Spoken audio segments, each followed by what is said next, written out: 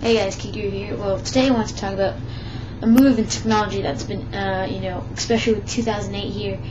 Uh, a lot of stuff will be innovating in for technology. A lot of stuff will, you know, it's going to be the year of stuff like, you know, wireless and all the other stuff like that. But uh, what I want to talk about today is something that's been relevant in all of technologies. You know, uh, whether you're talking about PCs or Macs, you know, it's just it's uh, it's been getting there and it's been advancing over time, and that's SSD. I've talked about this before, especially with the release of the MacBook Air. There's also the Lenovo, what is it, the Lenovo X300, I think it is. Uh, if I got that wrong, sorry about that. Uh, but um, uh, you know, SSD solid state drive is replacing your normal hard disk drive. Now, if you don't know what that is, most likely you have a hard disk drive, and you know, SSD are much more uh, now I can't say much more advanced, but you know they are highly advanced. Uh, you know, as of speeds are not you know really really really uh, faster than an H HDD or hard disk drive because of its lack in memory as of now and the cost uh, as of now. But what I want to talk about today is Intel Start SSD. Yeah, uh, with the market of you know Samsung, Toshiba, SanDisk of all you know uh, are great competitors and uh, are dominating this market. Intel wants to step into the market and really try and uh, let's see, try and uh, get their own SSDs out there and uh, start producing SSDs and start you know dominate start to dominate this market. Uh, you know, Samsung has a lot of great SSD drives out there. Probably one of the ones that are dominating right now. But uh, now a little background on SSD. It's NAND, it's NAND flash, so that's non-burst sorry, I can never say this, volatile memory, sorry, of this DDR volatile memory. I'll leave you the wiki on SSDs in the video description, but uh, basically it's no moving parts, complete silence, because uh, you know, there's no random re re uh, read and write times. I'm sure if you have an external hard drive or if you have, you know, a regular hard drive, you probably hear it, you know, uh, you hear it read and write the, the spin. Uh, SSD doesn't do that because it works on flash memory chips or NAND, NAND micro NAND technology. So uh, it's silent. You know, it's one key feature to it. It's much smaller than a regular hard disk. Most of them are like what I think two and a half inches it is, or something like that, or even smaller probably. But um, and uh, like I said, it's very very uh, so there's thin, lightweight, but they have a lot packed into it because it's using flash memory. And flash memory, you're going to start seeing it more in the computer environment along the years, especially with 2008 uh, with wireless adapting starting to get more, uh, you know, with EVDO, public Wi-Fi, uh, cell phone, you know, cell phone broadband, stuff like that. Uh, it's, you know, it's really going to collaborate with flash memory and stuff like that. All that type of stuff is going to be really, uh, you'll start seeing it more in 2008. And with Intel, and you know, Intel has this great uh, market with processors, of course, is what it dominates in, you know, uh, primarily against AMD, but, you know, it's if uh, we could see that potential within their processors, imagine what they can do with SSDs. Now, uh, it says now it plans to introduce a one and a half inch and two and a half inch SSDs for laptops. Most likely, you'll see you see SSDs in laptops. Not really. I don't think there's any SSDs with uh, desktops as of yet, just because the thinness and stuff is not really applied. The thinness is really applied into laptops because the lack of size and power and stuff like that. You see more stuff like the MacBook Pro, the Lenovo, there's Dells out there. You know, I don't know, I don't know if there's a desktop yet uh, with SS main, mainly feeding off SSD, just because uh, the noise is concealed within the case, most likely, and it has its own container and everything like that. You have much more space, much more power outputting through a desktop.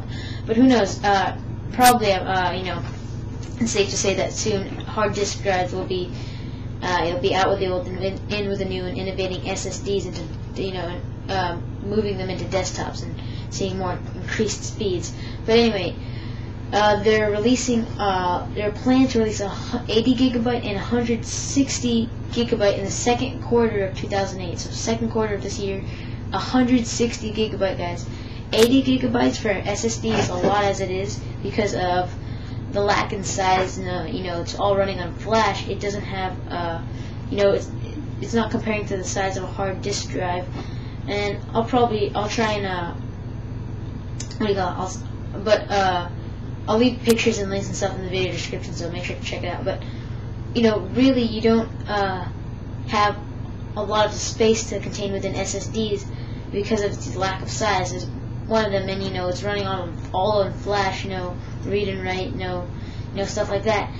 But uh, 160 gigabytes, guys. That's how much my hard disk drive and my desktop runs. So that's gonna be a huge, huge advance in SSD uh, space, and you know that's gonna give more manufacturers and a lot of uh, you know companies out there the reason to buy SSDs to you know especially uh, a lot of people who are you know uh, the MacBook Airs. Now you can have a lot more space and stuff like this if they do this. If Apple does decide to upgrade to these 160s, depending on their size, of course. Uh, you know, it's really gonna improve the industry standards out there, uh, especially the ones who are using hard disk drives as, as of now.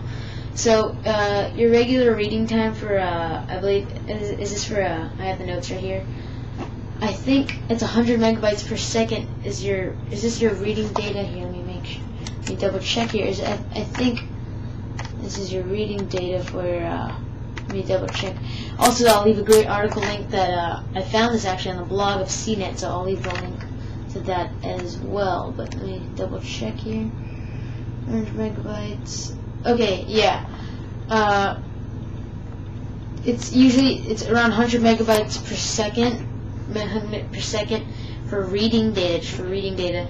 Now, uh, quote by one of the workers here said uh, we will be supplementing our product line with SATA. So they're going to be offering SATA uh, with about three gigabits per three gigabits per second per second. Now they're saying you know they're to use SATA 2 and stuff like that as of uh, for what what's the others uh they're you know so they're going to be implementing SATA into the SSDs and they said around three gigabits per second offering offering around there.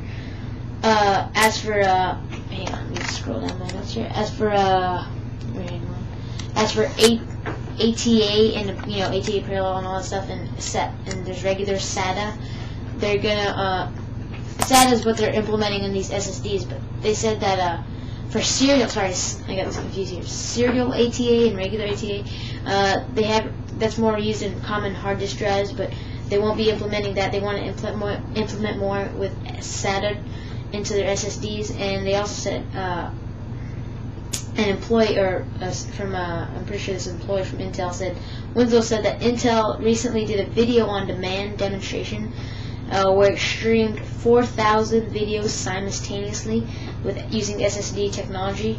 So uh, I don't have that. I haven't seen that video yet, but if I get it, I will post it in the video description. I'll try and get a separate video and post that video up too.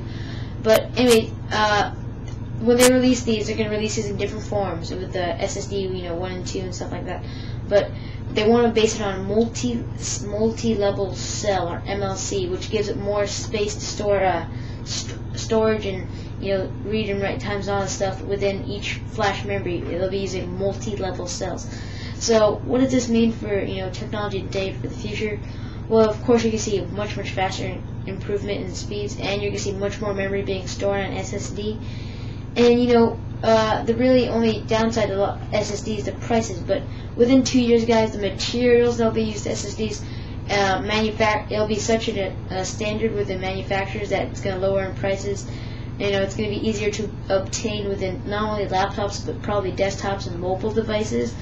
Uh, guys, with the improvement of SSDs over time, and with companies like Intel joining in, in to, you know, to the race. Uh, who knows if other companies, you know, even AMD could even jump in if they wanted to. But really, guys, we're gonna have to see how it plans out. SSD uh, uh, in the future, the prices are gonna drop surely within, I say, two years, even maybe the second quarter of 2009. You're gonna start seeing them implemented in more machine standard.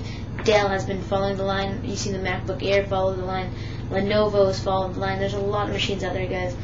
Uh, so really, we just have to sit and wait. And over time, guys, of course SSD will drop in prices.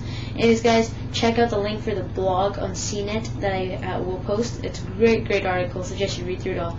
Uh, but yeah, guys. Anyways, thanks for watching, and I hope you enjoyed this uh, little segment on Intel Switch to uh, not not Switch, but to start producing their own SSD solid state drives. Uh, anyways, guys, make sure you check out the link. If you want to email me, uh, email. I always point this way. It's this way. YouTube flips it around. Anyways.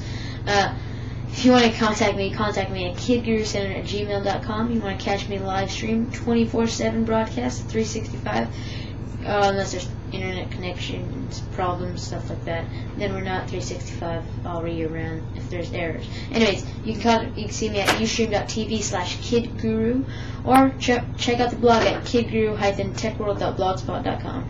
You can find me on iTunes at just type in Tech World under podcast technology or Kid Guru and you'll find me. Anyways guys, thanks for watching. Hope you enjoyed the video.